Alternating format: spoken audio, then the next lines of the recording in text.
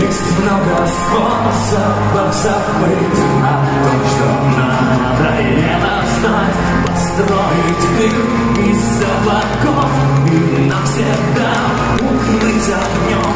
А всякий раз, когда внизу все будет полыхать огнем Ты не найдешь получше слов и причем